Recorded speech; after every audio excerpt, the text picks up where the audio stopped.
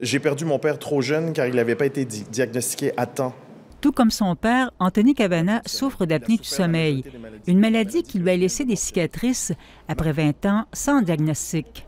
J'ai souffert de perte de mémoire, de dépression. Ma femme et mes enfants ont failli me perdre à deux reprises. La deuxième fois en décembre 2017 lorsque j'ai fait une embolie, embolie pulmonaire et un, suivi d'un infarctus pulmonaire.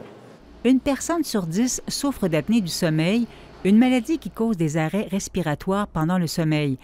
Les patients éprouvent généralement de la somnolence excessive et dans les cas les plus graves, cela peut avoir des impacts majeurs sur la santé.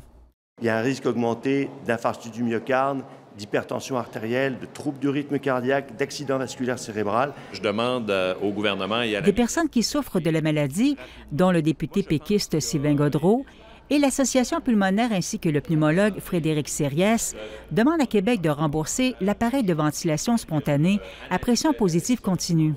C'est le traitement qui est le plus efficace. 100 des personnes qui l'utilisent vont avoir leur problème d'apnée corrigé.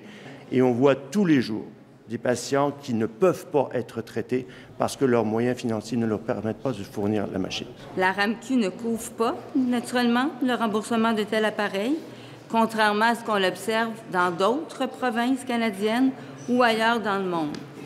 Le coût moyen d'un appareil est de 1 300 La facture pour le réseau public est estimée à 30 millions de dollars par année. Selon l'association, le montant serait récupéré par la réduction des frais sur le réseau de la santé. Anthony Kevana utilise l'appareil depuis quelques années. Ça m'a sauvé la vie et ça a changé ma vie. Au cabinet de la ministre de la Santé, on nous dit que l'élargissement de la couverture de l'appareil est à l'étude.